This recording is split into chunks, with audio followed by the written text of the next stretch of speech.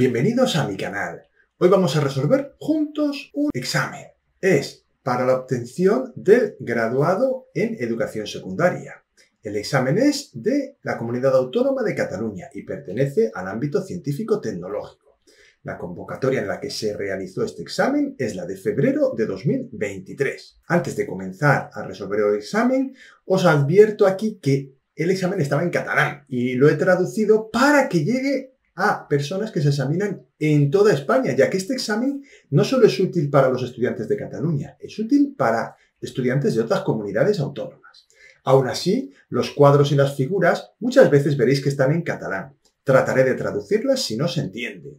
Y, debido a que hay textos e imágenes en abundancia, te recomiendo que imprimas el examen. Dejo el enlace en la descripción del vídeo. Y si no dejo el enlace, recuérdamelo para que te indique dónde lo puedes descargar. Aunque normalmente en mi página web, angelcuesta.com, podrás encontrar el enunciado del examen. Por otro lado, antes de comenzar a resolver el examen, te recuerdo que si quieres estar al día de los vídeos que voy subiendo a mi canal, tienes que suscribirte y activar la campanita.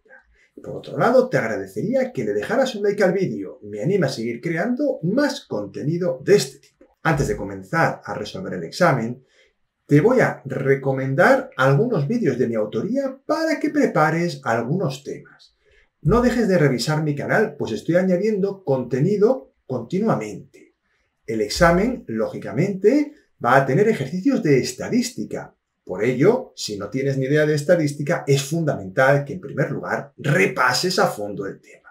Con este código QR podrás acceder a un vídeo con el cual podrás aprender desde cero todo sobre la estadística al nivel al que necesitamos en este examen, claro.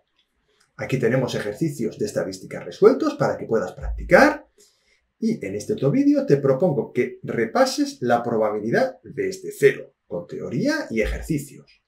Un interesante vídeo te propongo a continuación sobre cómo mejorar tu rendimiento en los estudios y por último, aquí tenemos otro de porcentajes, teoría y ejercicios. Este vídeo me parece súper interesante, ya que sale en muchos exámenes de este tipo. Y por último, no podía faltar nuestro amigo Pitágoras, el teorema de Pitágoras, imprescindible para cualquier problema en el que intervengan triángulos rectángulos. Comenzamos con la actividad 1, que dice ahí que vale 12 puntos. Bueno, eh, como veis, el enunciado es bastante largo y nos dice así. Un grupo de estudiantes se plantea hasta dónde pueden llegar las gotitas de saliva. Si una persona de 1,6 metros de altura estornuda sin cubrir la boca ni llevar mascarilla tal como se observa en el esquema adjunto. Para su resolución debe tenerse en cuenta que el alcance máximo de las gotas de saliva se calcula considerando el movimiento horizontal como un movimiento rectilíneo uniforme. Como condiciones iniciales, suponen que no existe rozamiento con el aire, que las gotas salen horizontalmente de la boca con una velocidad de 50 km por hora y que el tiempo de vuelo de la gota es de 0,56 Bien, espero que lo hayáis leído también vosotros bien y de todas maneras siempre podéis imprimir el examen, aunque está en catalán, eso ya os lo adelanto porque en español no lo he encontrado, ¿eh? podéis imprimir el examen para leerlo con más detenimiento. Apartado A. Deduce mediante el cálculo correspondiente si una persona situada a un metro y medio de distancia del emisor se encontraría en una situación segura en las condiciones anteriormente mencionadas. En primer lugar, debemos expresar la velocidad en metros por segundo. Mucho cuidado porque el tiempo nos lo han dado en segundos. Y la velocidad en kilómetros por hora. Por lo tanto, tenemos que convertir esa unidad mediante el factor de conversión doble correspondiente. Ahí lo tenéis en pantalla. 50 km hora se multiplica por el primer factor de conversión. El kilómetro que está en el numerador lo pongo en el factor de conversión en el denominador. Y en el numerador propongo la unidad que quiero conseguir, en este caso el metro. Y ahora escribo la conversión. Un kilómetro son mil metros. A mí me gusta ponerle el 1 a la unidad grande, ya que así es más fácil trabajar. Por otro lado, la hora está en el denominador, por lo tanto en el factor de conversión debo ponerla en el numerador. Por eso escribiré que una hora son 3.600 segundos. La hora es la unidad grande y el segundo, lógicamente, lo tengo que colocar en el denominador. Opero 50 por 1000 y divido entre 3.600 y me sale una velocidad de 13,89 metros por segundo. Se calcula la distancia que se desplaza la gota. Para ello utilizo la fórmula de espacio recorrido igual a velocidad por tiempo. 13,89 por 0,56 es igual a 7,78 metros. Por lo tanto, la clave ahí está en la distancia que recorre la gota.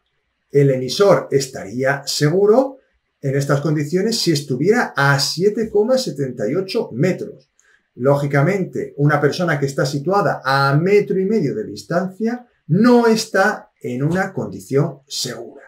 El apartado B dice, razone cómo afectaría la distancia recorrida por la gota si se hubiera tenido en cuenta la fuerza de rozamiento con el aire.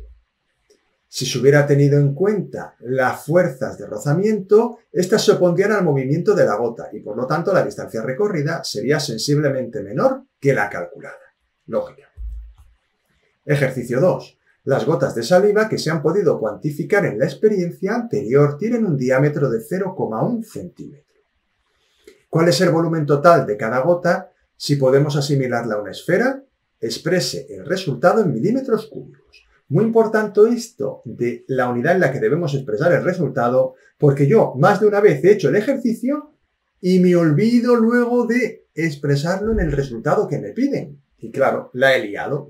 Y vosotros también os puede pasar. Por lo tanto, que no os pase, ¿vale? Vamos a trabajar. El diámetro lo vamos a convertir en primer lugar a milímetros, dado que el volumen nos lo piden en milímetros cúbicos, y así nos vamos a quitar el problema. Puesto que un centímetro son 10 milímetros, podemos decir que 0,1 centímetro son un milímetro. Se puede hacer un factor de conversión, pero en este caso es tan fácil, entre comillas, que he preferido no hacerlo. Se calcula el valor del radio. Mucho cuidado, nos han dado el diámetro de la gota, pero para poder calcular el volumen de una esfera necesito el valor del radio. El radio es la mitad del diámetro, es decir, 0,5 milímetros. Aplico ahora la fórmula que me proporciona el volumen de una esfera de radio R. 4 tercios por pi por radio al cubo. Os recuerdo que el número pi es 3,14, el radio 0,5 milímetros, y al operar esto con la calculadora me sale 0,52 milímetros cúbicos. Y ese es el volumen de la gota. 0,52 milímetros cúbicos. Lo recuadro para que quede clarito. Ya sabéis cómo a mí me gusta. El ejercicio 3 de esta actividad 1 dice, en condiciones reales, el movimiento de las gotas de saliva es afectado por el rozamiento del aire. Al comparar la energía de la gota al inicio y al final del movimiento, uno de los alumnos afirma que ha perdido energía. ¿Tiene razón este alumno? Bueno, vamos a contestar esto que es un poco una pregunta abierta, ¿vale? Aquí se pueden dar muchas respuestas, en mi opinión. Pero bueno, nosotros vamos a poner lo que dice el solucionario y a lo mejor hago algún comentario. En principio, el alumno no tiene razón. No se ha perdido energía, porque la energía no se crea ni se destruye, solo se transforma. En este caso, Parte de la energía cinética de la gota se ha transferido a las moléculas de gas que hay en el aire por el rozamiento en forma de calor, aunque el aumento de, el aumento de temperatura del aire es imperceptible. ¿vale? Probablemente al traducir el enunciado no lo he traducido del todo bien. Quizás el alumno dice, uno de los alumnos afirma que se ha perdido energía. ¿vale? Vamos a decirlo así. Uno de los alumnos afirma que se ha perdido energía. Pues no se ha perdido energía. ¿De acuerdo? Yo creo que ahora va a quedar más claro con esta explicación y con la nueva traducción que he colocado, ¿vale? Porque había puesto que uno de los alumnos afirma que ha perdido energía, pero no está bien dicho. Es uno de los alumnos afirma que se ha perdido energía. Y la energía no se crea ni se destruye, solo se transforma. Eso sí, la gota sí que ha perdido energía, porque parte de su energía la ha transferido al medio, al aire. Apartado B. Indique la presencia de energía cinética y o potencial en los diferentes momentos de la trayectoria de la gota de saliva. Marque con una cruz la o las energías predominantes en la columna correspondiente de la siguiente tabla. Aquí tenemos la tabla y vamos a decir que al inicio del movimiento sí tiene energía potencial, lógicamente porque está a una altura de 1,6 metros, y energía cinética sí que tiene, ya que tiene una velocidad en horizontal. En cuanto a la energía potencial durante el movimiento, sí tiene, aunque va disminuyendo conforme va perdiendo altura. Energía cinética sí tiene, pero va aumentando. Y un instante antes de tocar el suelo no tiene, ya que la altura es cero, ¿vale? En el momento que está justo antes de tocar el suelo, ya ha perdido toda su energía potencial, que se ha transformado, lógicamente, en cinética. Y además la energía cinética en este momento es máxima. Y pongo aquí una nota. En el solucionario oficial indica que un instante antes de llegar al suelo, la energía potencial es la predominante sobre la energía cinética y eso no es correcto, ¿vale? Es una errata que tienen ahí en el solucionario. Comenzamos ahora la actividad 2 y nos ponen aquí un enunciado y nos dan las propiedades físicas del etanol y la etiqueta de un producto que es un gel de estos para lavar las manos, un hidrogel, ¿vale? De estas que hubo tantos en la pandemia y claro, aquí han aprovechado y han utilizado este hecho de que estamos todos familiarizados con el hidrogel para ponernos tanto sus propiedades físicas como su composición, que dice que es del 80% en etanol, 2% glicerol y 18% agua destilada.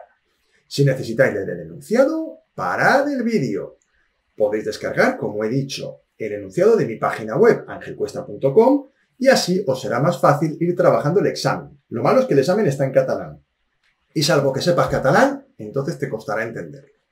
Bueno, vamos a contestar las preguntitas. Apartado A. ¿Es cierta la noticia que se difundió? Justifique la respuesta consultando las propiedades físicas del etanol. Vamos a ver, la, noticia dice explosión de una botella de hidrogel a alta temperatura. Atención con las botellas de hidrogel en los vehículos ahora que comienza el calor.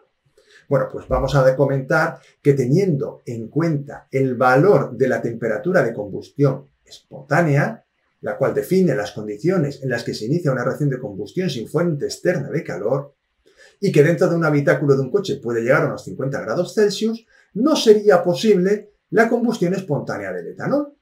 Por lo tanto, la noticia no es cierta. Tened en cuenta que para que de forma espontánea el hidrogel comenzara a arder, tendría que alcanzarse una temperatura de 363 grados centígrados. Y eso, aunque esté la botella al sol y aunque estemos en el desierto del Sahara, en pleno verano, a la hora de máxima temperatura, no va a ser posible. Por lo tanto, esa noticia, desde el punto de vista químico y físico, podemos afirmar que es falsa. Continuamos ahora con el ejercicio y en este caso en el apartado B nos pregunta, ¿el gel hidroalcohólico es una sustancia pura o una mezcla? En caso de que sea una mezcla, ¿es homogénea o heterogénea? Clásica pregunta y clásica respuesta. Es una mezcla homogénea. Es una mezcla porque está compuesta por distintas sustancias, etanol, glicerol y agua. Y es homogénea porque no se distinguen las partes a simple vista. Apartado C. En la etiqueta del producto aparece el símbolo que se muestra a continuación, que indica que es un líquido fácilmente inflamable. ¿Qué medidas de precaución se deben tomar? Pues como se trata de un producto inflamable, hay que tenerlo almacenado en un lugar bien ventilado. Hay que tenerlo separado de otros productos inflamables y también de lejos de fuentes de calor. Claro, porque si tú tienes una fuente de calor, un punto de ignición que dice ahí, lo que va a pasar es que, claro, se puede prender, se puede superar la temperatura de combustión espontánea y la hemos liado, ¿vale? Porque una vez empiece a arder, esto ya no para, ¿vale? Entonces, claro, lógicamente está prohibido fumar cerca de este tipo de sustancia y, por supuesto, cerca de los recipientes que la contienen. A continuación nos habla del etanol, que se quema en presencia de oxígeno y produce dióxido de carbono y agua. Escriba la reacción química que se produce y nos dicen que no necesitamos ajustarla. Yo la voy a escribir ajustada porque como soy químico, oye, pues me da un poco de, no sé, no me siento bien si la pongo sin ajustar. Pero vosotros lo que tenéis que recordar es que el etanol más oxígeno va a dar CO2 más agua. Eso es lo que tenéis que saber en este ejercicio. Pero si la sabéis ajustar, mejor que mejor.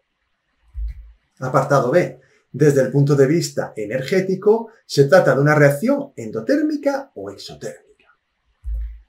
Se trata de una reacción exotérmica puesto que libera energía en forma de calor hacia el exterior. Cuando se quema el etanol, libera energía. Una reacción exotérmica es la que libera energía y una endotérmica la que absorbe energía. Apartado C.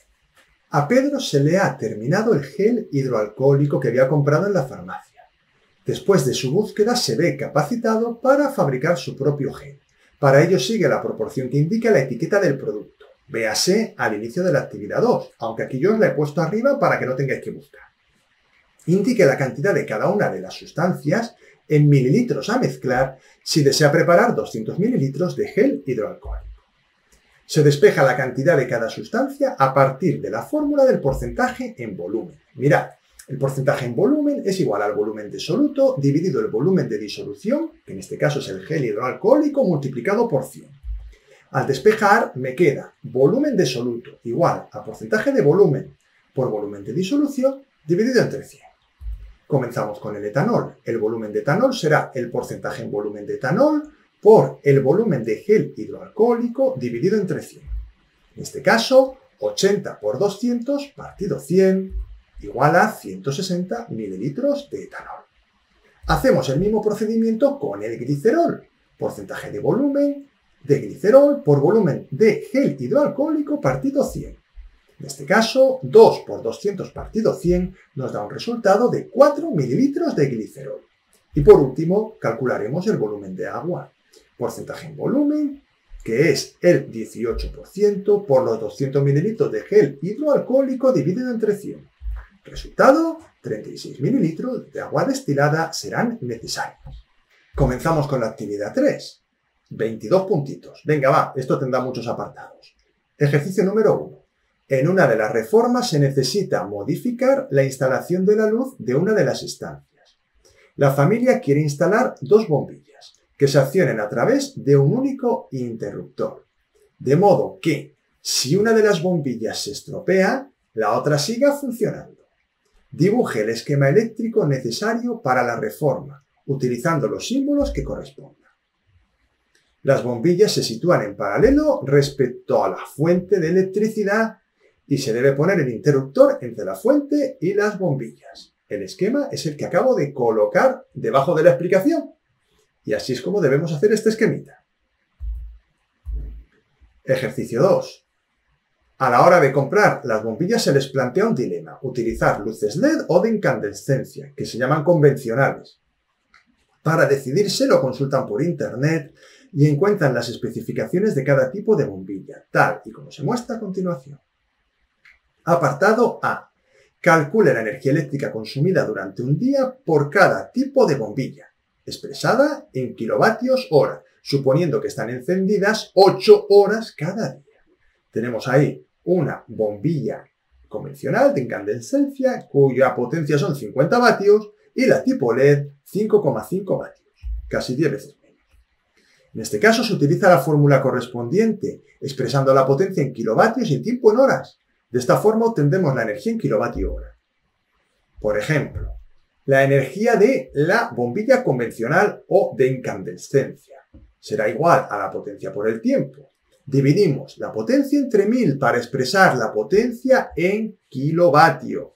Y el tiempo lo pondremos en horas. Pondremos 8 horas, que es lo que vamos a tener la bombilla encendida durante un día. Al multiplicar 50 por 8 y dividir entre 1000 nos queda 0,4 kilovatios hora.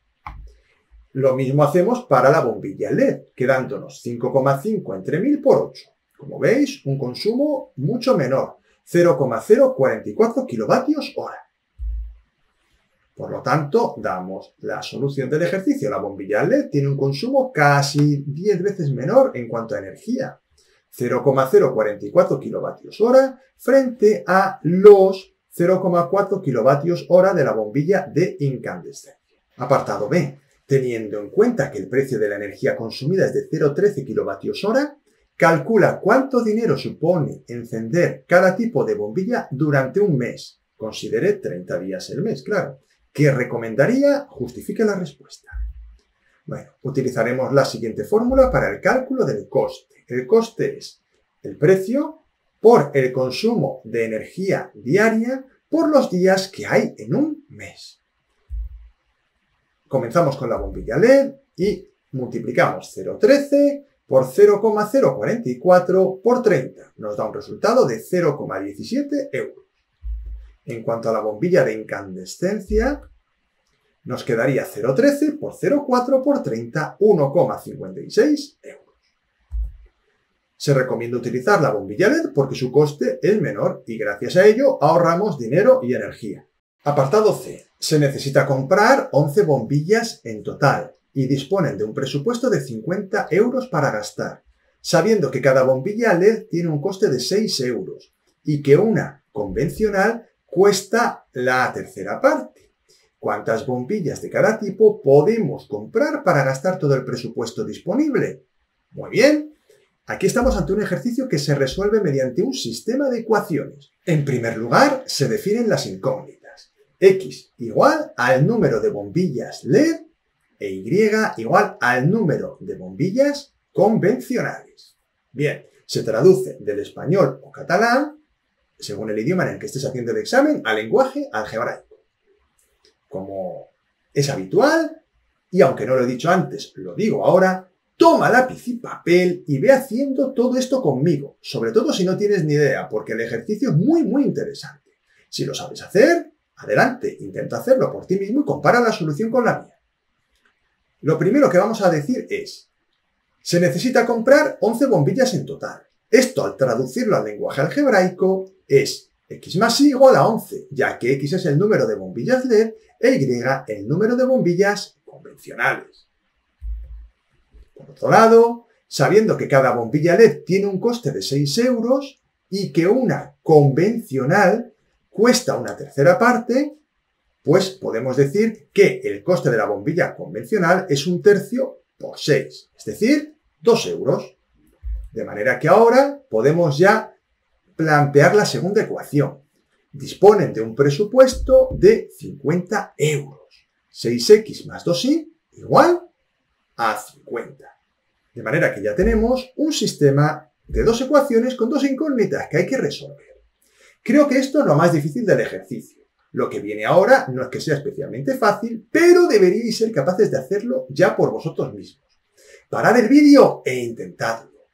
Yo, por supuesto, lo voy a resolver, pero vosotros podéis hacerlo por el método que queráis. En mi caso, he preferido utilizar en este caso el método de sustitución. Despejo de la primera ecuación la y escribiendo que y es igual a 11 menos x. Y sustituyo en la segunda ecuación. Me quedaría 6x más 2 por y, pero en vez de poner y, ¿qué pongo? 11 menos x, igual a 50. Como veis, ya tengo ahora una ecuación solo en función de x. La voy a resolver, en primer lugar, eh, operando el paréntesis. Me quedaría 2 por 11, 22 y 2 por x, 2x. Y como tiene un signo menos, pues menos 2x. Despejo x, que me queda 4x igual a 28, x igual a 28 entre 4 igual a 7. Una vez conozco el valor x, se calcula y sustituyendo x en la ecuación despejada. y igual a 11 menos x, y igual a 11 menos 7 igual a 4. Y damos la solución, recuadrada como siempre. Se compran 7 bombillas LED y 4 convencionales. El ejercicio 3 dice lo siguiente. Es invierno y para evitar que el frío entre en la cocina, el usuario de la vivienda con instalación de gas canalizado tapa con cartón las rejillas de ventilación que dan al balcón. Justifique si está actuando correctamente. Pues no está actuando correctamente ya que no facilitaría la ventilación de la estancia y por lo tanto en caso de que hubiera alguna fuga se le podrían acumular gases tóxicos como el monóxido de carbono. Por ejemplo, hay una combustión incompleta, perdón. O el propio gas canalizado si hubiera una fuga con el consiguiente riesgo de explosión. Es decir, resumiendo, tenemos que dejar la rejilla abierta para que se evacúe o bien el monóxido de carbono si hay una combustión incompleta o bien el propio gas si hay una fuga porque si se acumula y se produce una chispa o, lo que sea, puede haber una explosión. Vamos, lo que sea, no, que alguien entre fumando, cualquier cosa. Ejercicio 4. Para finalizar la reforma necesitan pintar un lateral y el techo tal como se ve en la figura, es decir, la parte que está de azul. Ya os he dicho que sería conveniente que os imprimierais el examen porque así las figuras las podréis ver mejor. Los tamaños de la habitación son los que pone en pantalla. Calcule qué cantidad de pintura plástica se necesitará sabiendo que su rendimiento aproximado es de 6 metros cuadrados cada litro. Es decir, que con un litro de pintura plástica se pueden pintar 6 metros cuadrados de pared. Se calcula la superficie del lateral multiplicando la base por la altura, es decir, 3 por 2,75 igual a 8,25 metros cuadrados. Calculamos la superficie del techo, que es 6 por 3, 18 metros cuadrados. Sumamos y nos queda 8,25 más 18 igual a 26,25 metros cuadrados. No dejéis de hacer esto en vuestra libreta, ya que visto así parece muy fácil, pero hay que saber hacerlo. A ver si sois capaces de sacar el resultado desde aquí sin que yo os ayude. Yo lo voy a hacer, pero parad el vídeo e intentadlo. Vamos a continuar. Se calcula la cantidad de pintura necesaria teniendo en cuenta su rendimiento por litro. Es decir, la cantidad necesaria de pintura se obtiene dividiendo el área que queremos pintar entre el rendimiento. Como veis, nos va a quedar en litros. 26,25 metros cuadrados entre 6 metros cuadrados por cada litro nos da un resultado de 4,37 litros. Se necesitarán, por lo tanto, 4,37 litros de pintura. Espero que lo hayáis entendido y hayáis sido capaces de llegar al resultado por vosotros mismos. Continuamos. Ejercicio 5 de esta actividad número 3. En verano quieren disfrutar del jardín y deciden rellenar la piscina que tiene forma cilíndrica y un diámetro de 3 metros y una altura de metro y medio. ¿Cuántos litros de agua se necesitarán para llenarla? Bueno, pues se utiliza la fórmula de el volumen de un cilindro. Pi por el radio al cuadrado por la altura. En este caso, el radio es la mitad del diámetro. Mucho cuidado porque en estos exámenes les gusta mucho darnos como dato el diámetro. Pero el dato que yo necesito es el radio, que es la mitad. 3 metros de diámetro entre 2, metro y medio de radio. Se calcula el volumen en metros cúbicos. Mucho cuidado porque el volumen nos lo piden en litros. Y esto a mí alguna vez se me ha pasado en estos exámenes. Acabo el ejercicio, por ejemplo, ahora y hago pi por radio al cuadrado por h 10,59 metros cúbicos, porque 3,14 por 1,5 al cuadrado por 1,5 da ese resultado. ¿He terminado? No, porque el volumen me lo están pidiendo en litros, ¿de acuerdo? No me están pidiendo la capacidad, sino el volumen necesario. Entonces hay que expresar el volumen en litros. Y se recuerda que un metro cúbico equivale a mil litros. Eso es importante, ya que un litro equivale a un decímetro cúbico, ¿de acuerdo?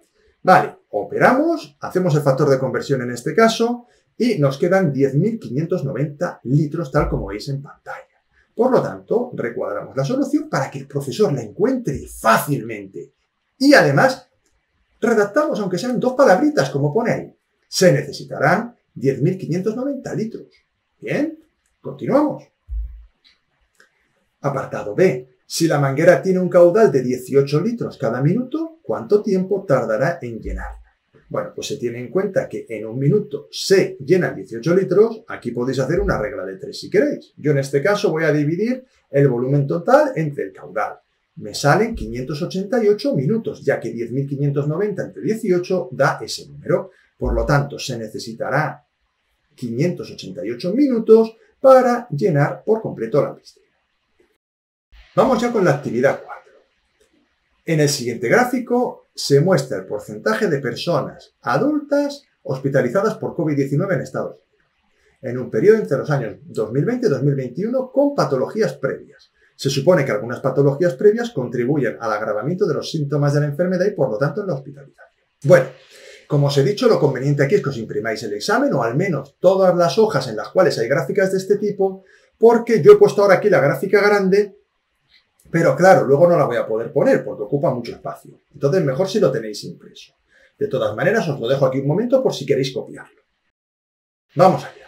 Apartado A. Seleccione marcando con una X la mejor conclusión que puede eh, extraer de los datos que aporta el gráfico. Bueno, aquí nos ponen cuatro cosas y vamos a decir que la principal causa de agravamiento de los síntomas de la COVID-19 es la hipertensión, que, mira, voy a, activar el puntero, voy a hacer ya tiempo que no lo uso, mira, vamos a darle. Ahí está, hipertensión. ¿Ves? Pon hipertensión, que es hipertensión, ¿vale? Traducido. Perfecto. El siguiente apartado nos dice, indique dos patologías de las representadas en el gráfico que tienen relación directa con el aparato respiratorio. Pues son el asma, mira, la primera la tenéis aquí, el asma, no tiene mucha, pero tiene, y la enfermedad pulmonar crónica, que es esta que pone malaltía pulmonar crónica, ¿vale? Malaltía en catalán, eh, si lo traducimos al español, pues sería enfermedad, ¿vale? Ejercicio 2. Marina ha observado que la obesidad es uno de los factores de riesgo y, para poder determinarlo, se utiliza el índice de masa corporal. El IMC es una cifra que permite evaluar la corpulencia de una persona relacionando la masa con la altura. Su fórmula es masa partida altura al cuadrado. La masa y la altura se expresan en unidades del sistema internacional, es decir, en kilogramos y metros. Su interpretación es la siguiente, aplicable solo a personas adultas. Para el vídeo si necesitáis leer algo más. Yo voy a continuar.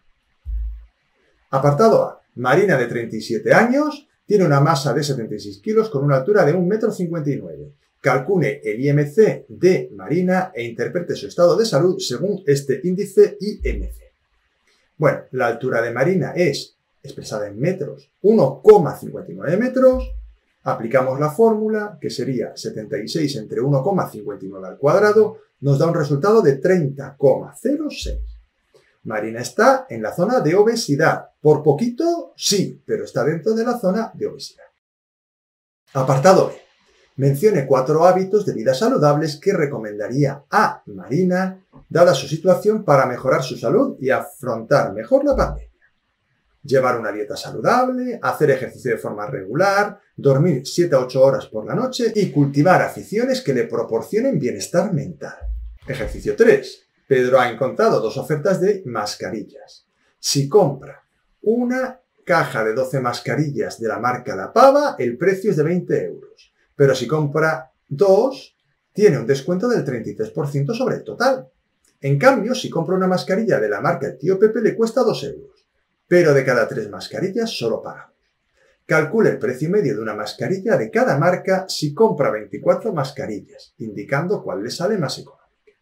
Clásico ejercicio, además esto está muy de moda en los supermercados, este tipo de descuentos. Se debe calcular el precio por mascarilla de cada oferta. Vamos con la oferta La Paga.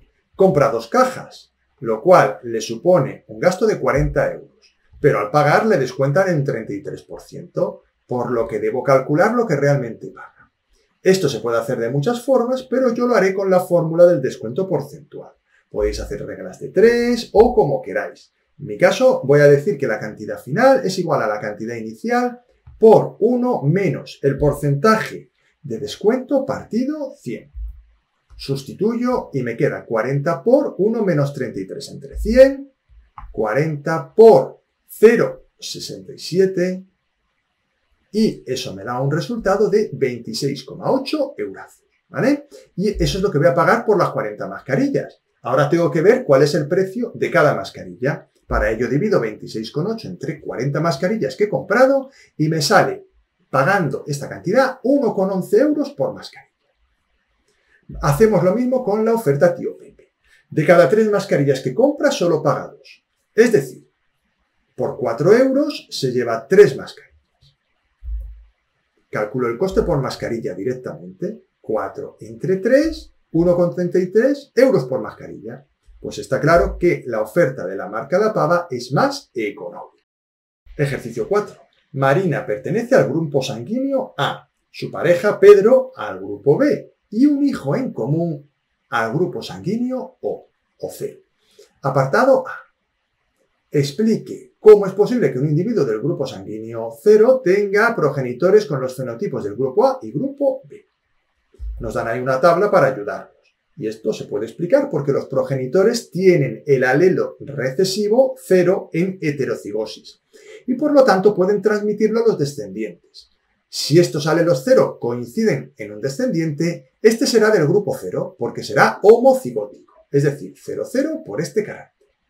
Estoy dando la solución, no estoy explicando gran cosa, ¿eh? Lo digo porque habrá gente que a lo mejor dice, ah, pues no me he enterado de nada. Ya, es que para poder hacer esto hay que saber un poquito de genética y conocer las leyes de Mendel. Yo os voy a poner un cuadro de Punnett para explicarlo un poquito más, pero sin ánimo de explicar exhaustivamente el ejercicio, ya que no es el momento. Mirad, cuando eh, los genes de Marina A, O o A0 se combinan con los de Pedro, B0, pueden darse cuatro situaciones como veis en este cuadro de Punnett.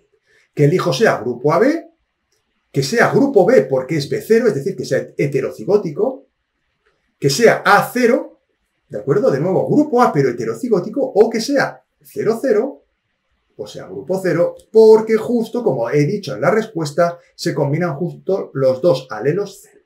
¿De acuerdo? Continuamos. ¿Cuál es la probabilidad de tener un hijo o hija con el grupo AB? Con un progenitor de genotipo A0 y el otro de genotipo AB. Hay que hacer otro cuadro de Punnett.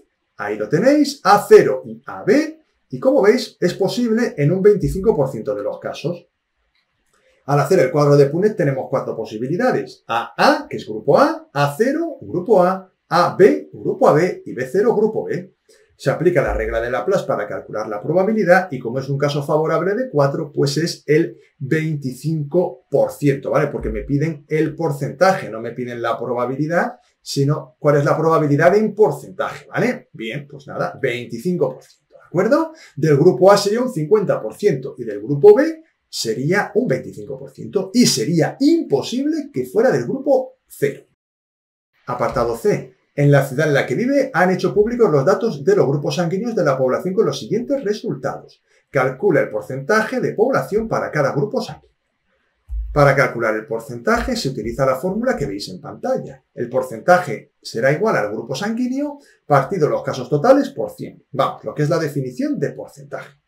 Aplicamos la fórmula para el grupo A 44,64%, ya que divido 12.500 entre el total 28.000 y lo multiplico por 100.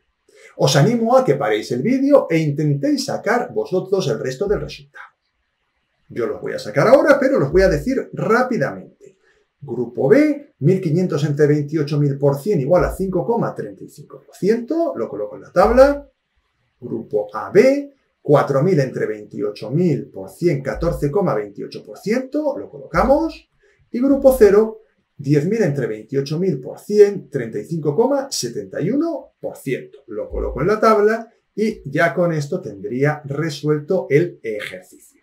El ejercicio 5 dice, la sangre forma parte del sistema circulatorio. Es la encargada de suministrar nutrientes en las células y recoger las sustancias de desecho. Por este motivo se relaciona con los aparatos digestivo, excretor, respiratorio para llevar a cabo estas funciones. Apartado A.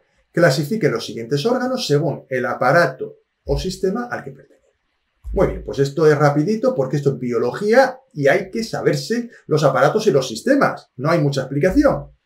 El corazón pertenece al sistema circulatorio, el estómago al digestivo, la tráquea al respiratorio, los pulmones al respiratorio, el intestino grueso al aparato digestivo, el riñón al excretor, el intestino delgado al digestivo, el páncreas al digestivo, la uretra al excretor y las arterias pertenecen al sistema circulatorio, igual que las venas, aunque aquí no nos preguntaban nada de las venas. Continuamos con el apartado B. Simplemente hay que completar este cuadro. Vamos a poner que en el aparato respiratorio el órgano fundamental son los pulmones. En el aparato digestivo, el intestino delgado, ya que nos pide que sean los órganos que intervienen en el intercambio masivo de nutrientes o de sustancias de rechazo. Los pulmones se intercambian el oxígeno y el CO2.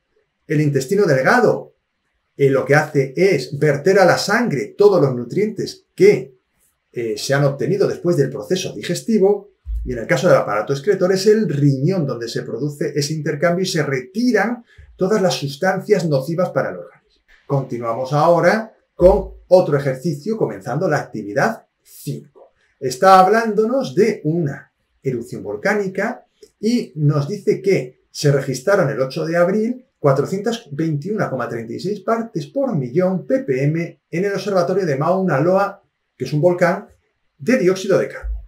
Los volcanes cuando erupcionan vierten mucho CO2 a la atmósfera, ¿vale? Y entonces aquí hay que tener cuidado con lo que nos van a preguntar. Apartado A. Describa cuatro actividades humanas que contribuyan a emitir CO2 a la atmósfera.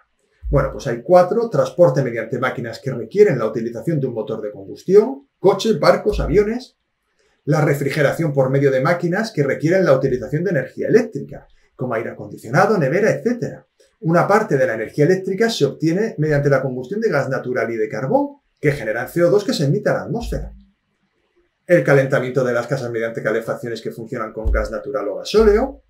Y cierto tipo de industria desprende grandes cantidades de CO2 a la atmósfera o requiere grandes cantidades de energía eléctrica obtenidas quemando combustibles fósiles tal como se ha comentado anteriormente. Apartado B. Mencione cuatro medidas que debería adoptar la familia para contribuir a reducir las emisiones directas o indirectas de CO2.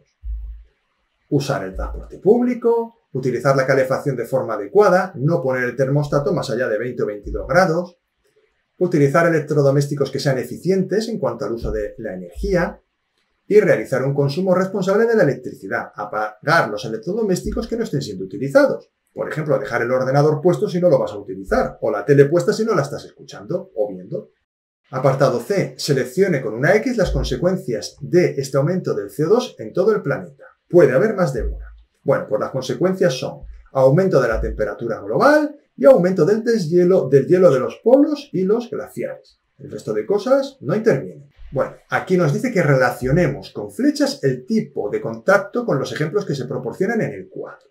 Bien, esto está hablando de las placas litosféricas, si leéis el enunciado. Yo me lo he saltado un poquito para ir más rápido, porque si no, ya llevo 45 minutos y este vídeo no se acaba nunca. Y ya se nos está haciendo pesado a todos, estoy seguro. Vamos un poquito de ánimo y no, no, dudéis en trabajar el vídeo en tres o cuatro sesiones si lo necesitáis. ¿eh? No tenéis por qué hacerlo todo del tirón. Lo que pasa es que yo sí lo grabo todo de una porque si no, pues no, no acabaría nunca. Y prefiero hacerlo todo del tirón y liquidarlo. Vamos allá. Subducción, pues típica en las cordilleras de Japón y los Andes. El tema de la dorsal oceánica es en Islandia y en la zona de los grandes lagos africanos la abducción en la cordillera del Himalaya y el deslizamiento lateral en la falla de San Andrés en California, en los Estados Unidos de América. Lógicamente, esto es una pregunta de geología y me parece bastante rebuscadilla, pero hay que conocer algo de geología para este examen. La verdad es que es una pregunta que a mí me parece complicada. Como soy químico, se me escapa un poquito. Continuamos ahora con un ejercicio de trigonometría. Atentos, ¿eh? nos han puesto aquí un triángulo que representa un esquema de un corte de la isla de Hawái, entre las localidades de Kamehame Beach y Hawái. Bien, ahí tenéis el esquema, lo he puesto grande para que podáis tomar nota de él. Bien, pero en caso de que no lo veáis bien, ya sabéis, tenéis que imprimiros el examen, vais a mi página angelcuesta.com y lo descargáis. Nos piden en el apartado A que calculemos la altura en metros del volcán Mauna Loa con los datos del esquema. Y nos dicen que debemos aplicar el teorema de Tales que establece lo que veis en pantalla. Pues vamos a aplicarlo según el teorema de Tales. 600 entre 5.000 es igual a x partido 34.750.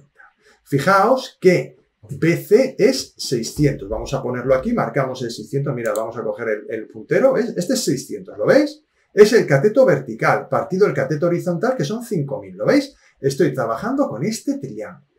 Por otro lado, eso es igual a x, que es el cateto vertical, que es la altura de el Mauna Loa. Aquí pone alzaria, ¿vale? Pues alzaria es altura. Muy bien. Y entre 34.750, ¿veis? Que es toda esta distancia. Resolvemos esa ecuación y nos queda que x es igual a 600 por 34.750 igual, dividido entre 5.000, igual a 4.170 metros.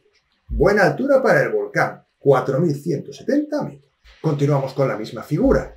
Calcule la distancia en kilómetros que hay en línea recta de Hawái a la cima. Es decir, nos están pidiendo esta hipotenusa, ¿vale? Según la definición del coseno, que nos la dan en el ejercicio, el coseno de 3 grados es igual al cateto contiguo, que son 65,25 kilómetros, dividido la hipotenusa.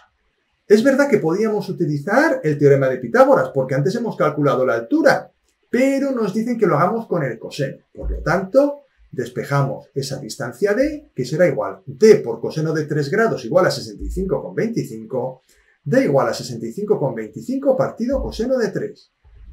Al hacer la operación me sale 65,339 kilómetros. Recuadro el resultado y enuncio una solución. La distancia que hay en línea recta de Hawái a la cima del Mauna es de 65,339 kilómetros. Continuamos con el ejercicio número 4. Durante dos años de cada mes se han recogido los niveles de CO2 en partes por millón en el aire con los siguientes resultados. Ahí tenéis en pantalla la tabla, de nuevo lo pongo lo más grande que puedo, pero insisto, os recomiendo que os imprimáis el examen o al menos las hojas en las cuales están estas tablas y estas figuras que lo ponen, porque si no, luego en el móvil esto se ve muy pequeñito. Apartado A. Elabore un gráfico a partir de estos datos donde se pueda comprobar la evolución de la concentración de CO2 durante estos dos años. Para que se vea bien el gráfico, lo pongo en la siguiente diapositiva, porque aquí casi no me queda sitio, se va a ver muy pequeño. ¿Vale? El gráfico es este, ¿vale? Lo he copiado y lo he pegado directamente de la solución, porque realmente esto pues hay que hacerlo como pone ahí, en el eje X dos meses y en el eje Y lo que viene siendo o lo que es la concentración de CO2 en partes por millón, ¿vale? El gráfico nos lo dan ya hecho. Nosotros tenemos que poner lo que veis ahí en la línea verde, ¿eh? No, no tenéis que hacer todo vosotros, no todas las cuadrículas ni nada. Eso ya viene hecho. Lo que vosotros tenéis que hacer es lo que pone en verde. Apartado B, ¿en qué mes y año la concentración de CO2 es máxima? Bueno, pues se puede ver que es en mayo de 2021. Ya está. Miramos aquí, puntero láser, mayo 2021. ¿Lo veis? 2021, mayo, ¿veis? Bueno, se me tuerce el puntero, pero bien, ¿no? Lo mismo, mínima. Pues nada, mínima es en octubre de 2020. Aquí está, ¿vale? Es el menor valor. Además, lo podemos ver en, la propia tabla. El, el valor en octubre de 2020 es 403. ¿Vale? Continuamos. Y ahora aquí nos pide que cuál es la amplitud máxima de los niveles de CO2 dentro del año 2021. Basta con restar el valor máximo en 2021 menos el valor mínimo y nos sale 419 menos 409 igual a 10 ppm. Estaba mirando el reloj porque, madre mía, cómo se está alargando este vídeo ya, 50 minutos, ¿eh? O más. Bueno, la amplitud máxima en 2021 es de 10 pp. Continuamos apartado E. Y dentro del periodo representado, pues valor máximo menos valor mínimo de todo el periodo, 419 menos 403, igual a 16 pp. Ponemos la solución y continuamos. Apartado F. ¿Cuál es la concentración media de todo el periodo? Pues se aplica la fórmula correspondiente. Hay que sumar 24 términos. A trabajar. La verdad es que me parece una locura, no lo voy a escribir todo. Se suma todo, se divide entre 24, hacedlo vosotros en vuestra calculadora y debería daros 410,04 ppm. O a lo mejor no, y me he equivocado yo, ¿vale? Todo es posible. Con lo cual, revisadlo. Eso sí, ponemos la solución. La media aritmética de la concentración es 410,04 ppm, o partes por millón. Seguimos. ¿Cuál es el incremento del nivel de CO2 del periodo representado? Pues el valor final menos el valor inicial, 411 menos 405 igual a 6 partes por millón, y ese sería el incremento. Apartado H. Si este incremento de emisiones de CO2 fuera observado en todo el mundo, ¿cuáles serían las posibles causas? Pues una explicación sería el aumento de la actividad industrial del ser humano. Por ejemplo, esa sería una de las posibles causas. Y hasta aquí ha llegado el vídeo del día de hoy. Como veis, un pedazo de vídeo, más de 50 minutos de explicaciones, de hacer ejercicio tras ejercicio. Un examen que me parece muy interesante, no solo para aquellos que os presentáis en Cataluña, sino para aquellos que os presentáis en cualquier comunidad autónoma de España, ya que es un examen súper completo. Preguntan de todo. Aunque en este examen me ha parecido ver bastante matemática, la verdad. Bueno, es una impresión. Tampoco me he puesto a contar los puntos de matemáticas, de física. Os recuerdo, por supuesto, que si queréis estar al día de los vídeos que voy subiendo a mi canal, tenéis que suscribiros y activar la campanita. Supongo que si habéis llegado hasta aquí ya habéis hecho ambas cosas, porque hay que tener paciencia para aguantarme y llegar hasta aquí. Aunque lo he dicho antes, es mejor trabajar estos vídeos tan largos en varias sesiones si lo consideráis necesario. Por otro lado, os agradecería que le dejarais un like al vídeo. Me anima a seguir creando más contenido de este tipo. Tened en cuenta que hacer un vídeo de estos tan largo me lleva bastantes horas de trabajo. Y si yo no veo que hay seguimiento, apoyo, likes, donaciones, etc., yo al final voy a hacer vídeos que me sean más fáciles, pero que tengan mayor repercusión entre la audiencia. Así que compartid con la gente que está preparando estos exámenes, animadles a que le den un like al vídeo y a que pongan un comentario bonito y agradable. A mí me alegra mucho ver que la gente me felicita por el vídeo. Y si algo nos ha gustado, por supuesto también podéis ponerlo. Yo también quiero mejorar, siempre de forma educada, por supuesto. Bueno, y me despido como siempre. Muchísimas gracias por vuestra atención y nos vemos en el siguiente.